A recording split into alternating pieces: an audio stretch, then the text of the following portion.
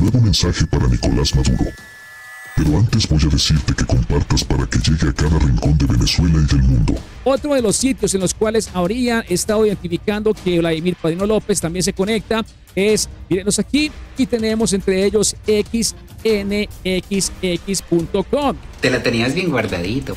Ahora, ¿cómo vamos a hacer con los impuestos? ¿50-50? Hola mi querida comunidad y familia, ¿cómo se encuentran todos ustedes en esta jornada? Espero que muy bien y les traigo excelentes noticias por cuenta de la comunidad de Anónimos que sigue dándole golpes certeros a este grupo de forajidos que se encuentran en Venezuela. Y le ha tocado el turno a Vladimir Padrino López, mis queridos amigos, quien fue expuesto con las direcciones IP a las que él se conecta y también cuáles son los sitios que él visita para que quede avergonzado ante todo el pueblo de Venezuela. Dicho eso, mis queridos amigos, quiero comenzar primero que todo con algo que el día ayer se estaba pasando por alto y es el temor que se le pudo observar en la cara a Siria Flores, la cual demostraba su total incomodidad y también el gran nerviosismo ante asistir a un tribunal supremo donde ella sabe que se robaron las elecciones y que ellos son fraudulentos, lo cual quedó evidenciado inmediatamente ante las cámaras, que por supuesto les traemos a ustedes para que las puedan conocer de primera fuente en este momento en Super Viralísimo. Veamos. Te veo asustadísima, Cilia. Cámara. Hay mucha gente que además puede verlo por televisión, por TV. Cafecito.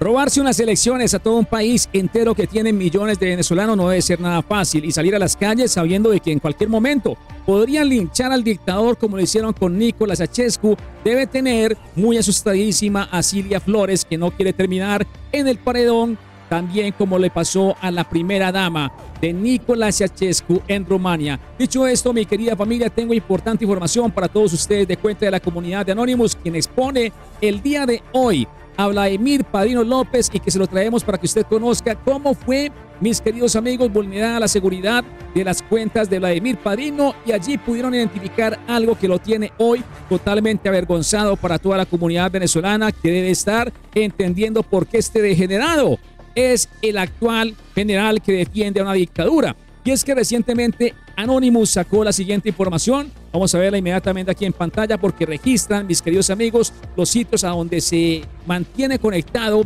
el señor Vladimir Padrino López. Y registraron, dice, su tarjeta de crédito en un portal de port de triple X. Y no solamente de mujeres, sino de triple X para hombres en xnxx.com.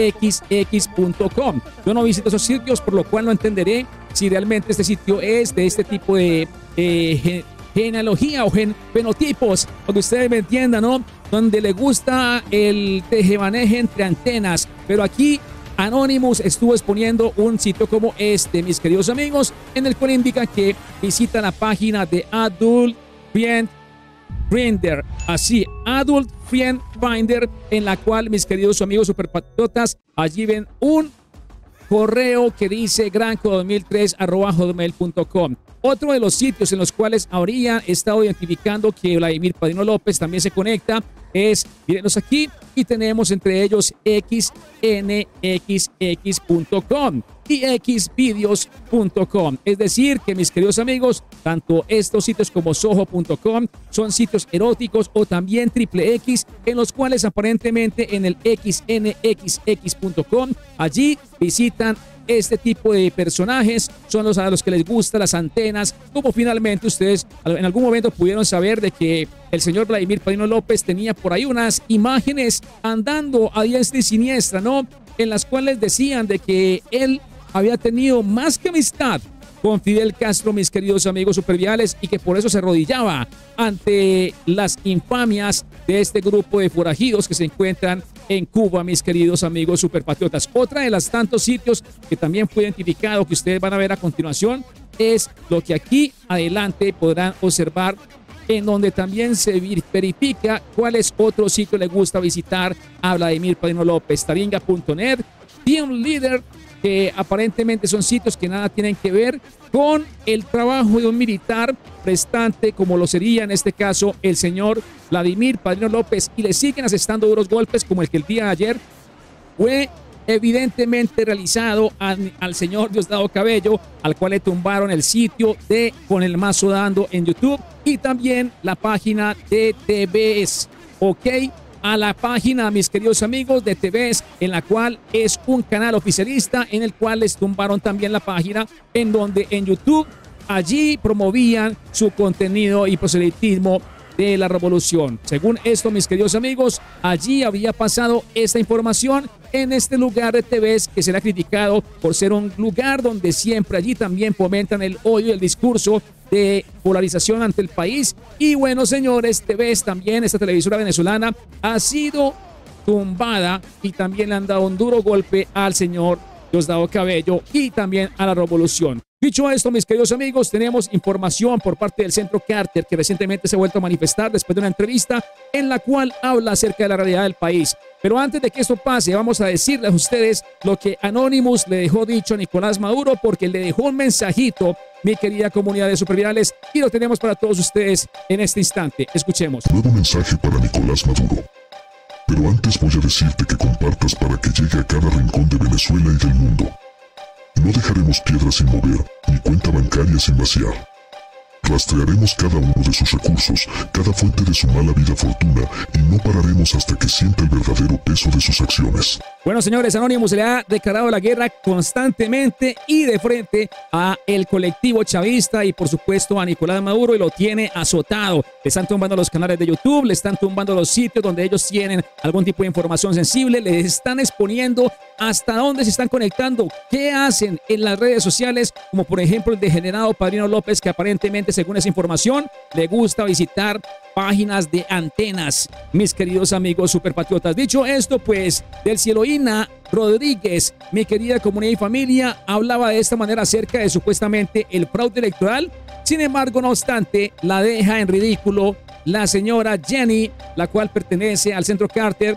Y ahorita vamos a ir a verla, no recuerdo el apellido, pero ahorita se los quedaré viendo para presentárselos después de este informe, mis queridos superpatriotas. ¿Por qué no habría de difundir el poder electoral los resultados si no fuese por el ataque cibernético masivo que dieron al proceso de transmisión? Es un ataque cibernético sin precedentes en Venezuela. Bueno, mis queridos amigos, luego de estas imágenes y declaraciones que dan nuevamente del Ciloína, vuelve y coge la comunidad y colectivo de Anonymous y le mandan a decir al grupo de chavistas lo siguiente, el CNE está intacto, nunca fue atacado. Lo que los chavistas reclaman es que bloqueamos la vía por donde pretendían cometer el fraude. Creyeron que traspasando la información por señal cable telefónica y wifi iban a salirse con la suya. No, señor, nosotros evitamos eso y fue CanTV, quienes son unos criminales que apoyan a, eh, apoyaban seguir hundiendo más al país continuando con su burda dictadura. Repetimos, el CNE nunca se tocó. Así me lo dijo el venezolano que me llamó para pedir ayuda un mes. Antes de todo, no toques el CNE, por favor, y cumplimos. Maduro fracasado. Ellos bien podrían haber transmitido los resultados reales, pero eligieron jugar sucio y con Cyber Hunters no se juega sucio. Por eso, aquí dicen ellos, mis queridos amigos, la realidad es la que han podido evidenciar los ojos de todos los venezolanos. Anonymous se la tiene montada y la está haciendo por la libertad de los venezolanos. Ya no basta con solo señalar sus crímenes. Ha llegado la hora de actuar con decisión y firmeza. Ya no nos contentamos con simples denuncias o declaraciones vacías. Estamos comprometidos a ir hasta el fondo. Pues dicho esto, entonces vamos a pasar inmediatamente a lo que dijo Jenny Lincoln, quien pertenece y es la directora del Centro Carter, quien fue entrevistada recientemente ante el evento de las elecciones y lo que viene documentando y el argumento de Nicolás de que son falsas las actas, de que el CNE tuvo un ataque, etcétera, etcétera. Y estas son las declaraciones que dejan hoy en ridículo al régimen de Nicolás Maduro, incluso a ese general corrupto y degenerado quien es Padino López. Estamos muy preocupados por la falta de transparencia del CNE. Ellos eh, tienen la oportunidad de compartir la información verdadera que deben de tener por su sistema electrónico y hasta ahora no se ha dado. ¿Por qué cree que el CNE, si el sistema electoral, como dicen, es tan efectivo, con una tecnología impresionante, no ha emitido las pruebas y las actas que eh, confirman el supuesto triunfo de Nicolás Maduro. ¿Por qué? Porque no se les dieron la gana. ¿O porque no las tienen? Los tienen. Ellos, ellos tienen, ellos tienen en su sistema, son los datos de la noche del 28 de julio. Vladimir Padrino, cuando recibió a su delegación y dicen que tienen un prestigio ganado y dos semanas después Nicolás Maduro dice que ustedes tenían ese informe que presentaron desde hace rato y que lo que hicieron fue ponerle picante. ¿Cómo ustedes leen ese cambio del régimen? Escuchemos. Bueno, eh, esto para mí fue muy chistoso porque llegamos con un estudio de los antecedentes del día del voto, el contexto, el desequilibrio del contexto electoral. Pero lo importante es que tenemos toda esta información, no solo del contexto, sino también de lo que pasó durante el día del 28. Bueno, señores, información que usted debería conocer es que el Centro Carter tiene la información pertinente para corroborar con pruebas de que el régimen de Nicolás Maduro tenía la información que había sido transmitido incluso hasta el 93, como no el 80 como decía Elvis Amoroso, sino el 93% de las actas en el momento en que pudieron transmitirla después de las cinco horas, cuando ya tenían fraguado toda la información que querían decir a la comunidad internacional. No obstante, el Centro Carter se ha convertido en una de las piedras del zapato que fueron invitados directamente por el Centro Nacional Electoral a través del propio a la propia venia y autorización del régimen de Nicolás, quien en los acuerdos de Barbados, para que tengan ustedes presente, habían quedado en acuerdo de que el centro Carter iba a asistir y como ustedes bien lo saben, tuvieron la venia del dictador y pudieron ingresar al país porque nadie podía hacerlo si no era a través, mi querida comunidad, de la propia autorización del régimen chavista. Así que nos quieren vender la idea de que el centro Carter supuestamente es fascista cuando ellos mismos los invitaron, accedieron a que llegaran lo recibieron. Vladimir Padrino López estuvo allá con ellos sentados, se dio, se dio el lustre con ellos y finalmente después dicen de que es totalmente fascista este sitio del Centro Carter cuando ha venido realizando constantemente visitas, no solamente en estas elecciones, sino en otras al territorio de Venezuela. Otra más que se le suma, por lo cual entonces muy bien dice, mis queridos amigos supervirales, María Corina Machado, lo siguiente, porque ella nos da una información muy, pero muy clara para que ustedes la conozcan y reforcemos y reafirmemos lo que está pasando en el país de Venezuela. Dice María Corina, hoy para que lo tenga presente a las 9 de la mañana, día fecha 10 de agosto. Nosotros ganamos, todos lo saben y tenemos las actas para demostrarlo. Ahora el primer paso para contrarrestar las maniobras del régimen es comprender cómo funcionan. Su objetivo es eliminar nuestra esperanza, nuestra fe en un futuro mejor. Esta es una guerra a nuestra lucidez a nuestra voluntad. Ellos te quieren confundido, resignado, sumiso, desesperanzado, pero somos más fuertes e inteligentes. Lo que quieren impedir ya pasó y mis queridos superviales, el gran evento de las elecciones presidenciales es reclamado y será facturado como ustedes lo hicieron, mis queridos amigos, porque este movimiento por las elecciones del país de Venezuela, la libertad de ustedes no tiene reversa. Entre tanto, volver a decirlo, ¿Por qué estaría tan asustado, mis queridos amigos, el régimen chavista cuando se pudo observar en estas imágenes que Siria Flores estaba que se mojaba en los pantalones ante lo que podría estar evidenciando allí, que es a un dictador corrupto y también fraudulento asistiendo a defender unas elecciones que se las robaron y que fueron totalmente golpeados y derrotados el 28 de julio en Venezuela. Soy Víctor Londoño, mis queridos amigos superiores, y nos vemos en el siguiente segmento de noticias. No sin antes decirle que te suscribas al canal, le des un buen like al programa y te leeré, por supuesto,